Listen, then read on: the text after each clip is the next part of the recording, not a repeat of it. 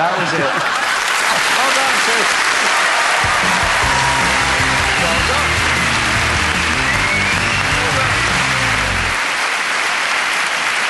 I think I'm going to have to give the miles to Chris because James was just absolutely awful. After that medium speed carnage, I'm going to show you a road sign from somewhere in the world. First person to buzz in and tell me what it means gets the miles. Are you ready? Here is the first sign. Warning, penthouse dysentery sufferer ahead.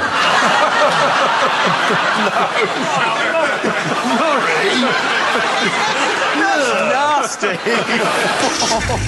Yes? Um, warning, Noel Edmonds still operating in this area. Yes. Warning shit happens.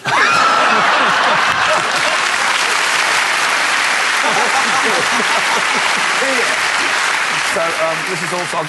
I'll give say this is from um, America. This is from Lake Tahoe. If that gives you any clues, America. I know, it means snow falling off the It roof. does. It means snow falling from roofs. Well done. Yeah. so uh, next one. Here it is. Yes. Breakdancing competition ahead. No. Turn it. Just turn it. Keep going, keep going, keep going, keep going, keep going. No, keep going. Further, further. There you go. 70s disco ahead.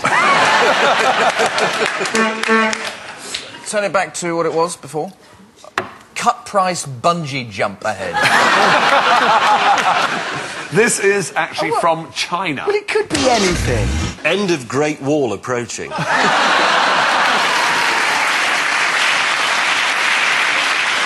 It must just be warning a bloke might land on your head then.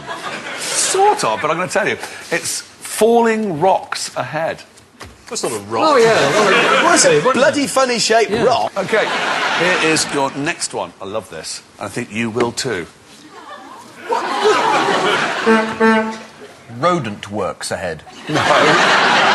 You are entering an area of really piss poor cartoonists. Let me give you, I'll give you a clue. Um, this is actually from Italy. Church, mi- church That's mice what's quiet. about mice being quiet? Yes, Quiet, is.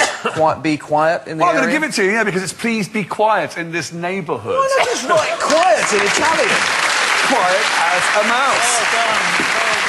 Okay, on to think of a link. Coming up are two apparently random pictures, and all our teams have to do is find the car-related link between them. Chris and Murray, what's the connection between Million Dollar Supercar, the McLaren F1, and James Bond femme fatale, Pussy Galore?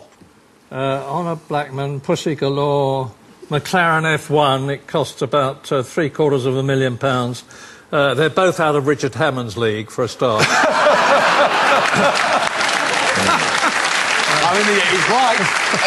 You're right. They, um, they both have a starter button. Ooh. Oh. Goldfinger. Yes, right lines. I think it's something to do with gold. Yes. There's something, is so- something in the, the car made out of gold. yes. Yes, it is. I think I'm going to have to give you that, actually, because the answer gold is plating. gold. Okay. Pussy Galore was the Bond girl in Goldfinger, and the McLaren F1 was so lavish the engine bay was lined with real gold. Or, in Anne Diamond's case, Terry's all gold. And James, um, what's the link between Amstrad tycoon Sir Alan Sugar and tantrum typhoon Dame Elton John? And just before you come out with any awful smutty innuendo, can you just try, please try, and give me just a normal straight answer? Oh.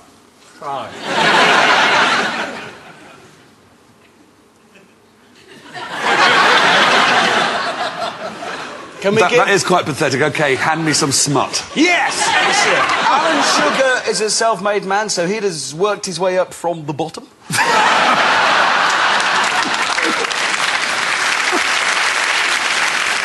but we want... Uh, No, no, I...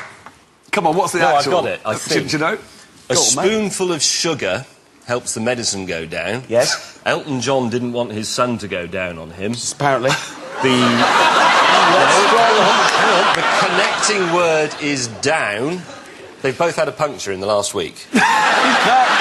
It's easier than that. Have you any idea? Any idea what that might be? Elton John's car collection. Not quite, no. They both owned the same car. I'll have to give you have that, really. I'll oh, have to give you that because the answer is a 1951 Bentley Continental which Sir Alan bought off Elton. Right, um, on to the only reason Richard Hammond comes here every week. It's Mystery Car. I show you a tiny piece of a car and slowly reveal more. The faster you get it, the more miles you win. So, fingers on And buzzers. Murray, Murray, we've got to win this one, okay? Because I'm determined that at the end of this round, Hammond is not going to go, it's the only thing I can do.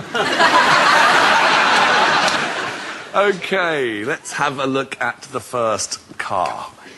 Fingers on buzzers. Oh, Worth a shot. Is it a small Lotus? no. Oh. Let's see a bit more.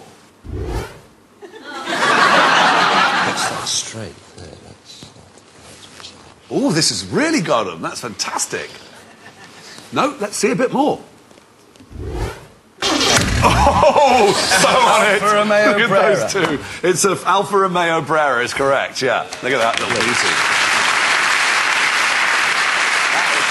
I tell you what, though, we actually got it on that one there. We was like this. Let's have a look at the next one. You want to see a bit more? Are you Yeah. still going to be? Yeah, Yeah, a bit more. A little bit more, please. Oh, now he's on it. It's a Ford Torino, Starsky and Hutch car. It is the Starsky and Hutch Ford Gran Torino. okay, let's see the next one. Uh, this is a great week. Oh, you've made these hard. This These are good. Let's see a little bit more. Morris Minor. Morris Minor. It is a Morris Minor Chris. With a little radiator strap, yeah. It's great, don't you? It's just You're always I, moaning. I used to drive one of those. I first did over 70 miles an hour in, uh, in one of those. How? On the, on the descent from South Mimms. Was, is that Yeah. a cliff? And I was in the back seat with...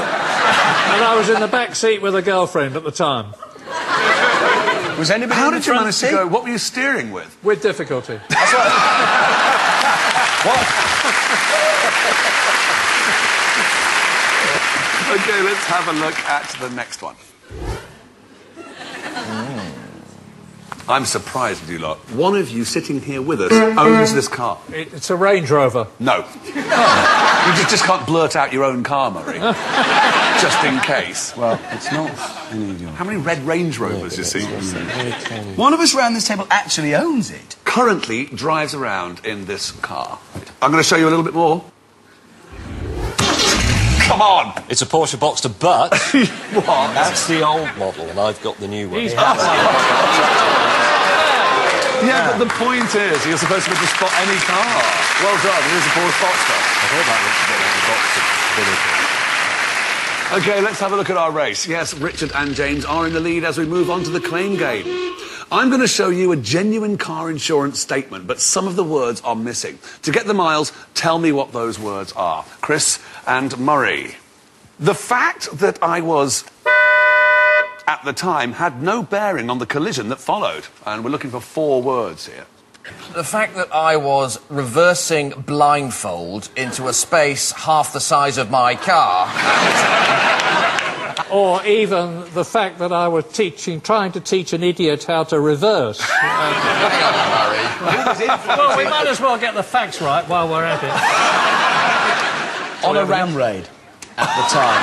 Had no bearing. I was going to tell you. The fact that I was eating a chicken curry at the time had no bearing on the collision that followed. That's a good job they put down chicken curry because you never get anything for lamb madras. No. Richard and James, what's missing here? I pulled into the petrol station when suddenly, between my legs, and I hit the pump. Something bad happened between my legs and they hit the Three words here with you. Suddenly I noticed this- my motorcycle was missing from between my legs. Any I other pulled into the petrol Hang station when suddenly I discovered the area between my legs.